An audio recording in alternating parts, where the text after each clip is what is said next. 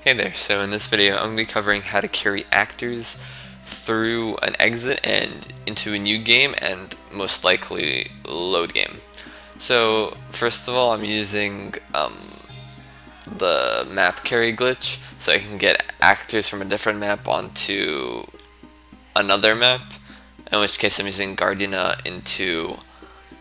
uh, the school and then that let me be out of bounds in the school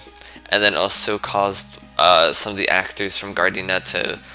lead to a warp to further in the game, but that warp soft locks, which kinda sucks. So I was trying to find out how to like make that work, but um, I didn't, but I found this instead. And so basically what you do, as you see there, what I did was I walked forward and I hit the trigger, but um, I also pressed start, and what happened was the uh, yes or no came up to warp to the red fountain, uh, but my start menu also came up in the back. So I'm going to press yes, so it's going to start making me go to the warp, but then my start menu comes up and I can exit. So if I do exit,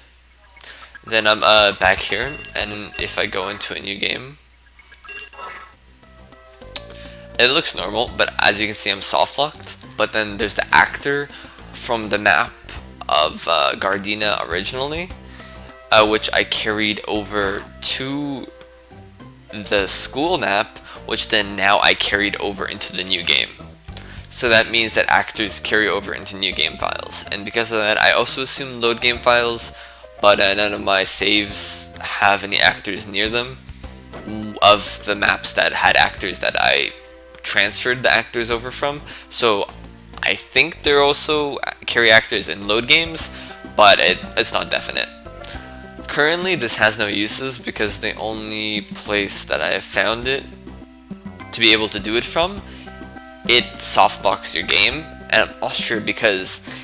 the warp to the fountain usually softlocks your game, so I'm not sure if that's the reason why it also softlocks in this case. But if we could find another place where this works, and it doesn't softlock your game, you could potentially carry over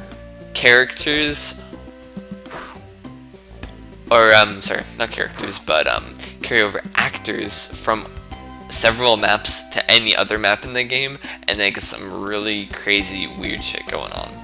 So this has a lot of potential but we'll see what this turns out into